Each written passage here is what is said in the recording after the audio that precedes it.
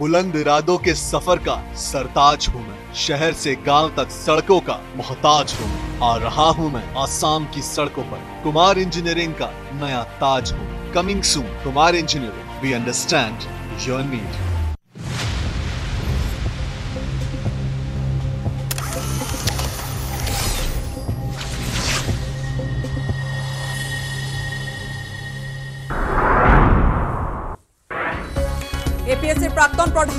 নিয়ন্ত্ৰক নন্দবাবু সিঙক গ্ৰেপ্তাৰ নিজৰ কাৰ্যকালত। কন্যা মিনাৰ্ভা দেৱীকো দুৰ্নীতিৰে এ পি এছ চিত দিছিল চাকৰি। দুহেজাৰ চৈধ্য চনৰ প্ৰিলিমিনাৰী পৰীক্ষাৰ অ' এম আৰ চি জ্বলাই দিছিল নন্দবাবুৱে।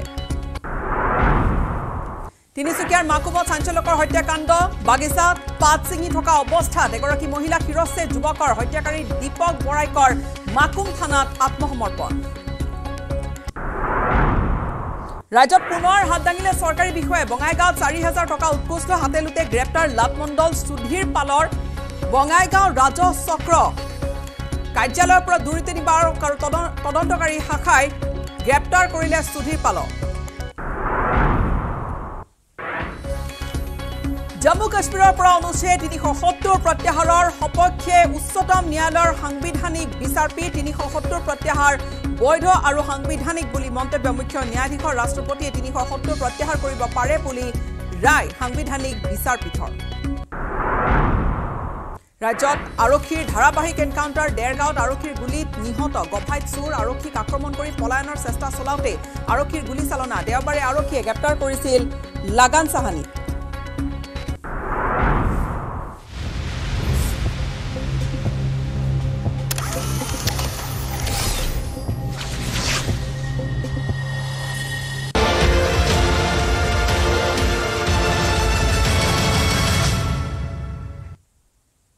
নমস্কাৰ স্বাগতম জনাইছো এয়া আবেলিৰ সংবাদ ষ্টুডিঅ'ত মই গীতাশ্ৰী। প্ৰথমটো খবৰ এ পি এছ চি কেলেংকাৰীত নন্দবাবু সিঙক গ্ৰেপ্তাৰ কৰা হৈছে। দীৰ্ঘ সময় জেৰাৰ অন্তত গ্ৰেপ্তাৰ কৰিলে নন্দবাবু সিঙক ৰাকেশ পালৰ সোহাত স্বৰূপ আছিল এটা সময়ত নন্দবাবু সিং। এইজন নন্দবাবু সিঙে অ' এম আৰ চিট জ্বলাই দিছিল। ৰাকেশ পালৰ কাৰ্যকালত এ পি এছ চিৰ প্ৰধান পৰীক্ষা নিয়ন্ত্ৰক আছিল নন্দবাবু সিং। নিজৰ কাৰ্যকালত কন্যা মিনাৰ্ভা দেৱীকো দুৰ্নীতিৰে এ পি এছ চিত চাকৰি দিছিল।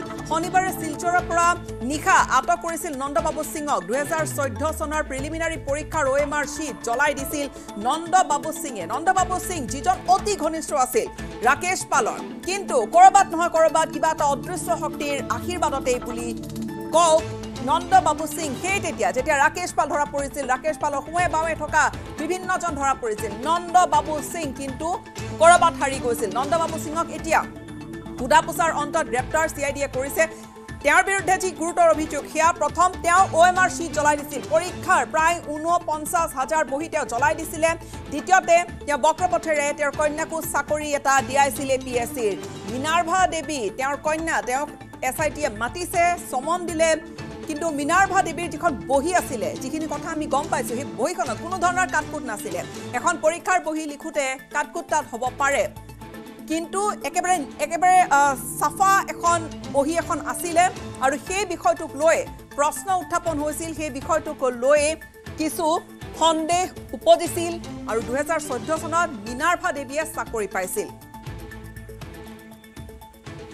দুহেজাৰ তেৰ চনৰ মাৰ্চৰ পৰা দুহেজাৰ পোন্ধৰ চনৰ জুলাই সেইখিনি সময়ছোৱাত সেইখিনি সময়ছোৱাত এ পি এছ চিৰ প্ৰধান পৰীক্ষা নিয়ন্ত্ৰক আছিল নন্দবাবু সিং। যিজন নন্দবাবু সিঙৰ বিৰুদ্ধে এই গুৰুতৰ অভিযোগ যে এ পি এছ চিত ঊনপঞ্চাছ হাজাৰ পৰীক্ষা বহি জ্বলাই দিছে। নন্দবাবু সিঙে এ পি এছ চিৰ অধ্যক্ষ আৰু সচিবৰ নিৰ্দেশত বহি জ্বলোৱা বুলি স্বীকাৰো কৰিছিল নন্দবাবুৱে। দুহেজাৰ চৈধ্য চনৰ প্ৰিলিমিনাৰী পৰীক্ষাৰ অ' এম আৰ শ্বীটবোৰ জ্বলাই দিছিল। ৰাকেশ পালৰ সোঁহাত স্বৰূপ থকাৰ বাবে ৰহস্যজনক কাৰণত কিবা এটা কাৰণত আৰক্ষীৰ তদন্তত গ্ৰেপ্তাৰো হোৱা নাছিল নন্দবাবু সিং। দুহেজাৰ তেইছৰ তেইছ জানুৱাৰীত জেৰা কৰিছিল সুৰজিৎ সিং পানেচাৰে। দুহেজাৰ বাইছৰ আগষ্ট মাহত বিপ্লৱ শৰ্মা আয়োগে পুনৰ সোধা পোছা কৰিছিল। জেৰা কৰিছিল আয়োগে নন্দবাবু সিঙক। নন্দবাবু সিং যিহেতু এই পৰীক্ষা নিয়ন্ত্ৰক আছিলে এক প্ৰকাৰ ক'বলৈ গ'লে এই গোটেই কেলেংকাৰীৰ অন্যতম হোতা। নন্দবাবু সিং অন্যতম হোতা এইবাবেই কোৱা হৈছে কিয়নো পৰীক্ষা নিয়ন্ত্ৰক তেওঁ। তেওঁৰ মাধ্যমেৰে তেওঁৰ জৰিয়তে বা তেওঁৰ হাতেৰে এই গোটেই খেলি মেলিটো হৈছিলে বা তেওঁ এটা অন্যতম গুৰুতৰ এটা ভূমিকাত আছিল। উল্লেখযোগ্য যে কন্যা এ পি এছ চি পৰীক্ষা দিয়াৰ বাবে দুহেজাৰ চৈধ্য চনৰ পোন্ধৰ মে'ত অব্যাহতি বিচাৰি চাকৰি লৈ চৰকাৰলৈ তেওঁ পত্ৰ প্ৰেৰণ কৰিছিল। ষোল্ল মে'ত চৰকাৰে অব্যাহতি দিছিল নন্দবাবু সিঙক আৰু এতিয়া নন্দবাবু সিঙক জেৰা কৰি থকা হৈছে।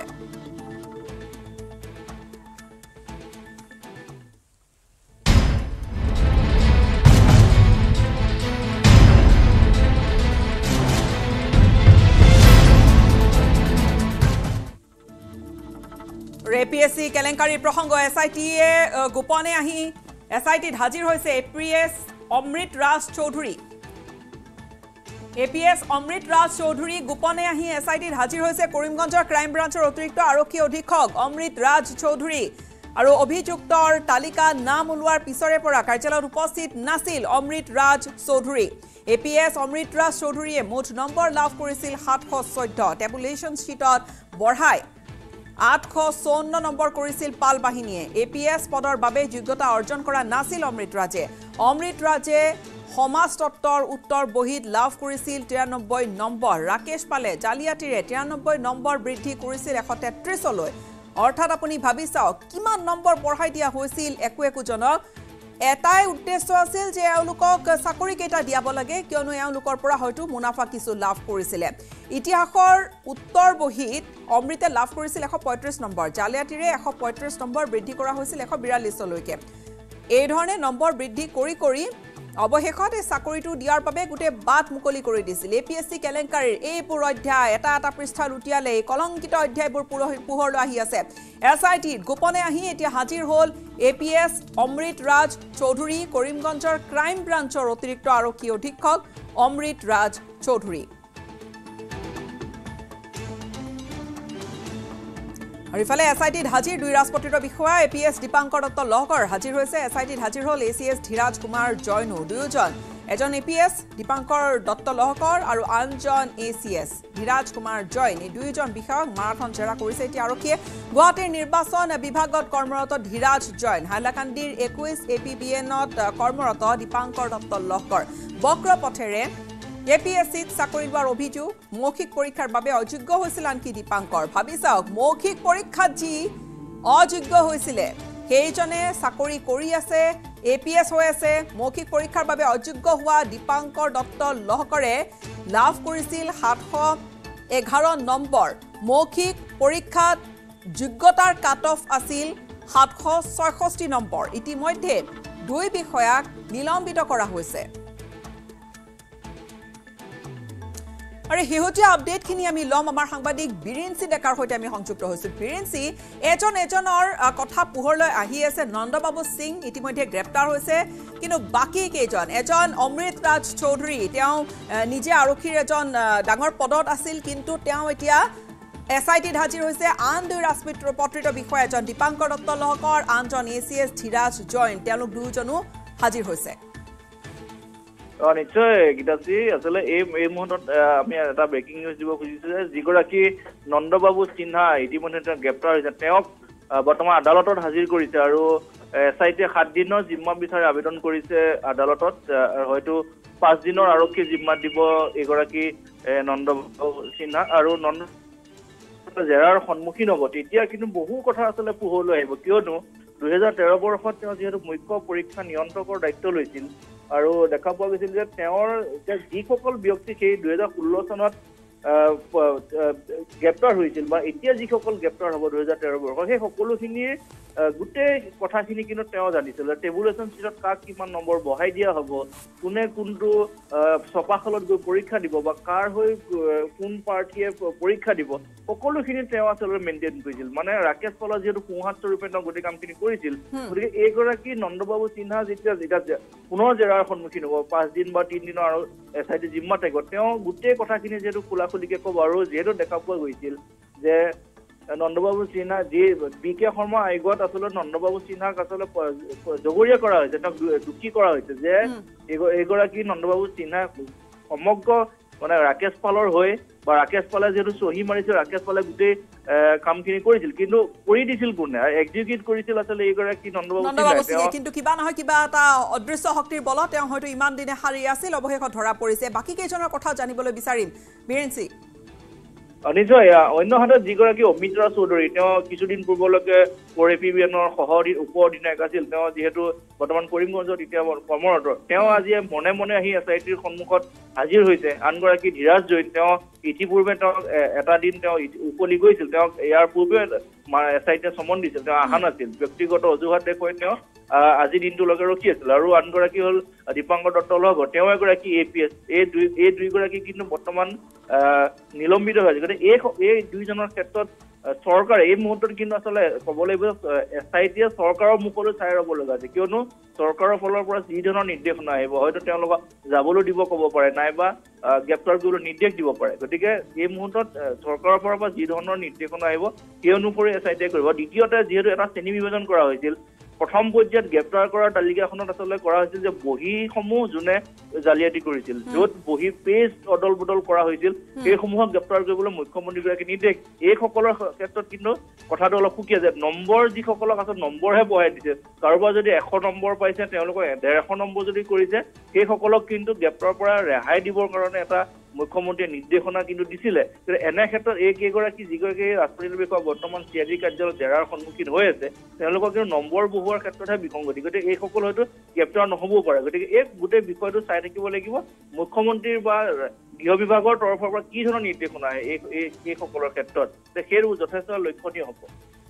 হয় নম্বৰ বঢ়াই দিয়াখিনি অৰ্থাৎ ইয়াৰ পৰৱৰ্তী পৰ্যায়খিনিত আমি এই ধৰণে ভাবিব পাৰোঁ নেকি যে যিসকলে বহি অতিৰিক্ত লৈছিল যিধৰণে সুকন্যা দাসৰ সম্ভৱতঃ বহি থাকিব লাগে ছখন কিন্তু তাত আঠখন বহি আছিলে এনেকুৱা ধৰণৰ যিখিনি কথা বতৰাবোৰ আছিলে এইসকলৰ পিছত যিসকলৰ নম্বৰ বঢ়াই দিয়া হৈছিলে তেওঁলোককো বেলেগ ধৰণে তেওঁলোকৰো সোধা পোছা চলিব বা তেওঁলোকৰ তালিকাখন বেলেগ ধৰণৰ হ'ব তেনেকুৱা কিবা ক'ব পৰা যায় নেকি বীৰেন সিং?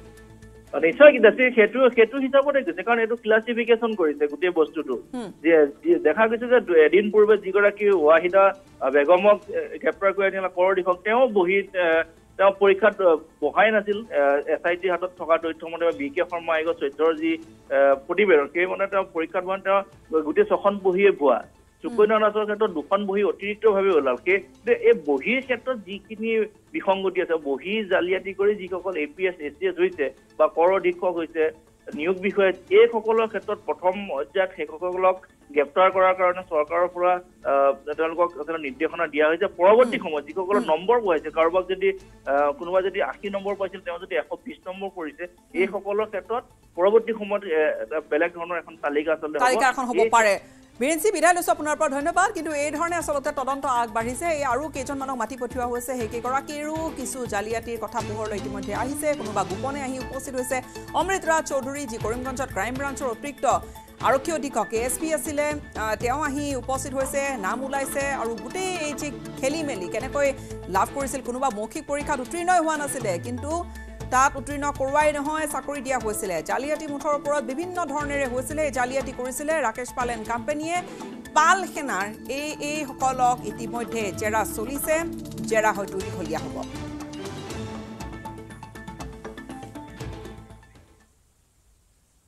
আমি খবৰ ধাৰা অব্যাহত ৰাখিম সময়খিনিত এটা চমু বাণিজ্যিক বিৰতিৰ।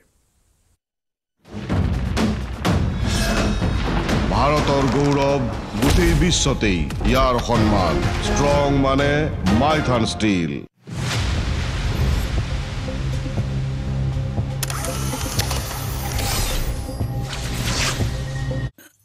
बुलंद इरादों के सफर का सरताज हूँ मैं शहर से गांव तक सड़कों का मोहताज हूँ मैं आ रहा हूँ मैं आसाम की सड़कों पर कुमार इंजीनियरिंग का नया ताज हूँ coming soon Kumar engineering we understand your need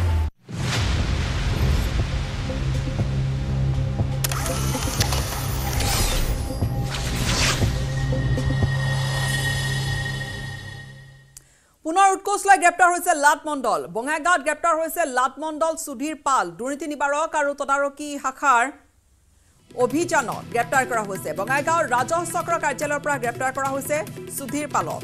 কাৰ্যালয়ৰ ভিতৰতে জেৰা কৰা হৈছে সুধীৰ পালক। চাৰি হাজাৰ টকা উৎকোচ লৈ ধৰা পৰিছে।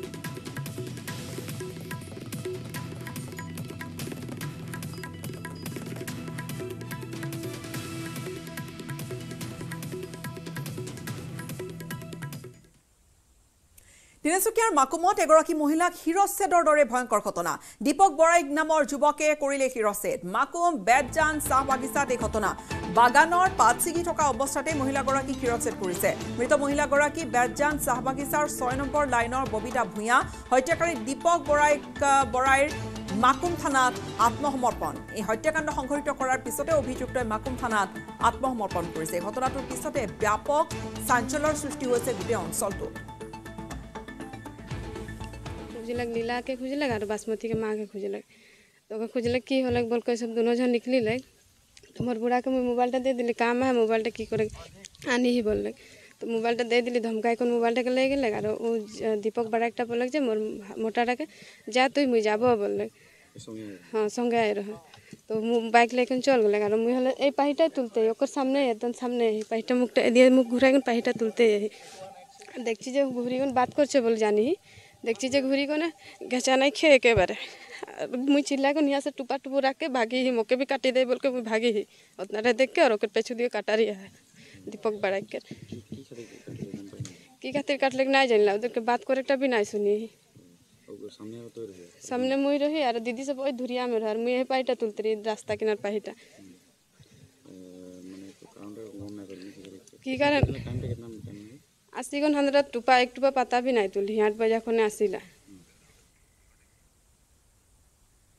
গোৱালপাৰাৰ লক্ষীপুৰৰ নলবাৰী সংৰক্ষিত বনাঞ্চলত পুনৰ উচ্ছেদ অভিযান।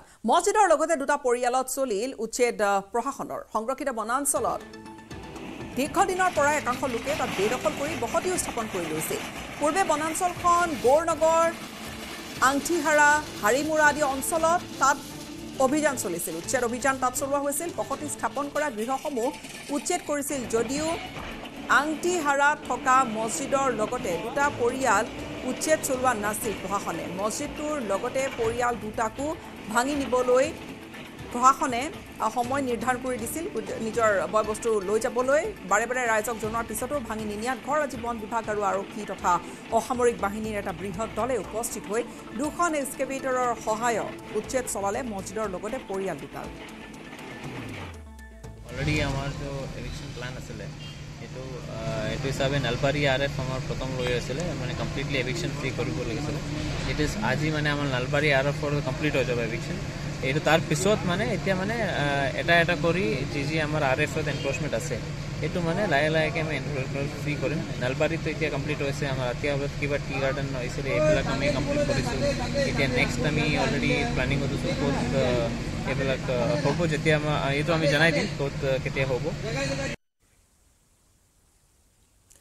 এশ টকাত কপাল ফুলিল ইনজামামুল হকৰ। হাউলি ৰাস মহোৎসৱ উদযাপন সমিতি উদ্যোগত বহুমুখী সাংস্কৃতিক প্ৰকল্প নিৰ্মাণৰ সাহাৰ্যাৰ্থে আয়োজিত উপহাৰ কুপন খেলৰ প্ৰথম পুৰস্কাৰ লাভ কৰিবলৈ সক্ষম হৈছে হাউলিৰ উত্তৰ কালঝাৰৰ ইনজামামুল হকে।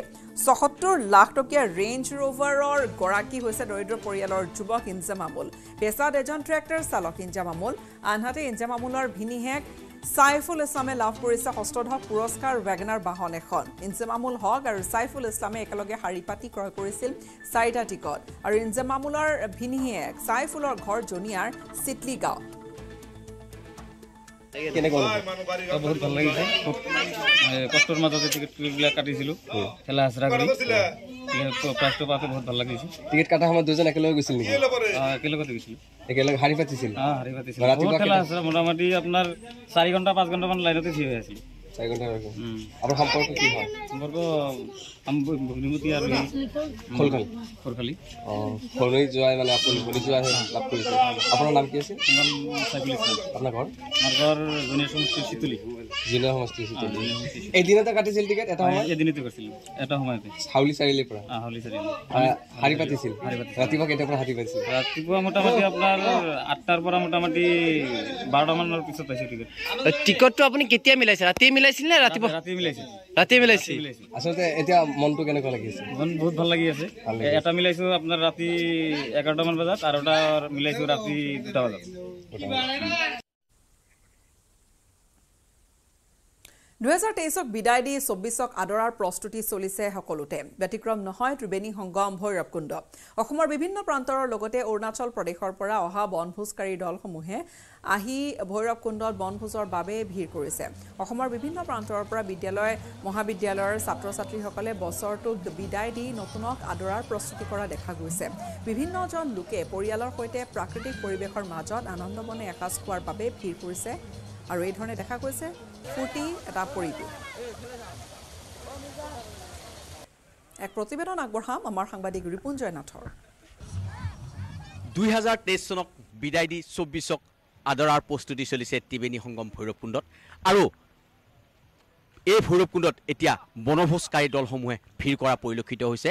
মোৰ কেমেৰা সহযোগে দেখুৱাই আছে এইদৰে অসমৰ বিভিন্ন প্ৰান্তৰ পৰা লোকসকল আহি এইদৰে আচলতে বছৰৰ শেষত এইদৰে বিদায় দিবলৈ আচলতে লগে ভাগে পৰিয়ালৰ সৈতে এসাঁজ খাবলৈ এইদৰে প্ৰস্তুতি চলোৱা পৰিলক্ষিত হৈছে। মোৰ লগত সভাপতিগৰাকী আছে এই এন জি অ'ৰ কি ক'ব কি কি ব্যৱস্থা ৰাখিছে আপোনালোকে ভৈৰৱকুণ্ডত এইবাৰ নতুনত্ব কি পাব? বনভোজকাৰী দলসকল আহি। চবকে নমস্কাৰ আৰু ৱেলকাম জনাইছোঁ ভৈৰৱকুণ্ড ইক' টুৰিজিম কনজাৰ্ভেশ্যন ছ'চাইটিৰ পৰা। এই বছৰো আমি যোৱা বছৰ যেনেকুৱা কৰিছে এনেকৈ মানে আমি প্ৰিপেৰেশ্যনো আছে। যথেষ্ট আমি আগবাঢ়ি গ'ল প্ৰিপেৰেশ্যনটো আৰু লগতে আমাৰ যিটো ৰুলছ এণ্ড ৰেগুলেশ্যন এইটো আমি দিয়া হৈছে। জাগা জাগা আমি ন'টিচবিলাক দিয়া হৈছে আৰু লগতে যিখিনি এণ্ট্ৰি কৰিব তাতেও এণ্ট্ৰি গেটতো মানে যিটো টিকেট আছে বেক ছাইডত চাব পাৰিব তাতেও মানে ৰুলছ এণ্ড ৰেগুলেশ্যনবিলাক আছে। আৰু যোনে ইয়াতে পিকনিক খাব আহে চবে যেন ৰুলছ এণ্ড ৰেগুলেশ্যন মানি চলে এইটো মই অনুৰোধ কৰিছোঁ। যিহেতু ইয়াতে ওচৰত ভৈৰৱকুণ্ড যিটো মেনমেড ফৰেষ্ট আছে দুটা মেনমেড ফৰেষ্ট আছে ভৈৰৱকুণ্ডত এইকাৰণে মানে মই অনুৰোধ জনাইছোঁ ডি জে লাউড স্পীকাৰটো এলাউড নাই ইয়াতে আমি এলাউড কৰা নাই। মই আৰু কেইগৰাকী বনভোজকাৰী কোন ক'ৰ পৰা আহিছা তোমালোক? আমি বৰপেটা ৰোডৰ পৰা আহিছোঁ। বৰপেটা ৰোডৰ পৰা। কেনেকুৱা লাগিছে ভৈৰৱকুণ্ডত আহি? ভালে লাগিছে। ভালে কিমান আহিছা তোমালোক? কোন স্কুলৰ পৰা আহিছা? কাটাজৰ বজাৰ হাই স্কুল হাইস্কুল কিমান আহিছা ছাত্ৰ ছাত্ৰী সাতচল্লিছজন হ'ব। কেনেকুৱা লাগিছে ভাল লাগিছে। ভাল লাগিছে। খানা খালে নাই? খাইছোঁ। খাইছা? কেনেকুৱা লাগিছে ভৈৰৱকুণ্ড আহি? বহুত ভাল লাগিছে। হয় আচলতে ভৈৰৱকুণ্ডত আহি ভাল লাগিছে। এইদৰে আচলতে এইসকল লোক ওলাই আহিছে ওলাই আহি স্কুলীয়া ছাত্ৰ ছাত্ৰীৰ পৰা বিভিন্ন আহিছে। তোমালোক ক'ৰ পৰা আহিছা? কোন স্কুলৰ? স্কুল নেকি স্কুল। কোন ক্লাছৰ পৰা তুমি? Class eight. কোন স্কুলৰ? লাউজন কি স্কুল? পশ্চিম লুকৰা হাই স্কুল। কেনেকুৱা লাগিছে আহি ইয়াত? ভাল লাগিছে। ভাল লাগিছে। মই আৰু আগলৈ যাবলৈ চেষ্টা কৰিছোঁ। কেইজনমান ছাত্ৰ আছে তেওঁলোক আহিছে। ক'ৰ পৰা আহিছা? অংগ্ৰাজুলি কেনেকুৱা লাগিছে আহি ভাল। পিকনিক ভোজ খালা নাই? খালো। খালা? কেনেকুৱা লাগিছে আহি ভাল। এইটো পিন্ধি দিয়া এবাৰ পিন্ধি দিয়াচোন। কেনেকুৱা লাগিছে? বঢ়িয়া। ভাল লাগিছে আহি? তোমাৰ কেনেকুৱা লাগিছে? ভাল। ভাল লাগিছে। আৰু আহিবা এইফালে। কেনেকুৱা লাগিছে? ক'ৰ পৰা আহিলে? আমি তেজপুৰৰ পৰা আহিছোঁ মানে কেনেকুৱা লাগিলে? বহুত ভাল লাগিছে। এনে ভৈৰৱকুণ্ডৰ আহি থাকোঁ আমি কিন্তু আজি বহুত ভাল লাগিছে আহি পেলাই। আৰু অন্য লোকসকলক কি ক'ব আৰু বছৰটো কেনেকুৱা যাব কেনেকুৱা বছৰটো মানে ভালে যাওক মোৰো ভালে যাওক সকলোৰে ভালে যাওক। হয়। হয় এটা কথা ক'ব লাগে এইসকলে আচলতে সকলো লোক অধিক উৎসাহেৰে আহিছে এইদৰে ভৈৰৱকুণ্ডলৈ আৰু সকলোৱে এটা কথা কৈছে যে ভৈৰৱকুণ্ডলৈ আহি খুব ভাল লাগিছে ভৈৰৱকুণ্ডলৈ সকলো আহক। আৰু পৰিয়ালৰ সৈতে বছৰৰ শেষত পৰিয়ালৰ সৈতে লগে ভাগে এসাঁজ খাওক আনন্দ ফূৰ্তি কৰক। আৰু এইদৰে আচলতে ভৈৰৱকুণ্ডৰ যি বনভোজস্থলী ইয়াতে সকলো বছৰৰ শেষত সকলো লোক আহি ভিৰ কৰা পৰিলক্ষিত হৈছে।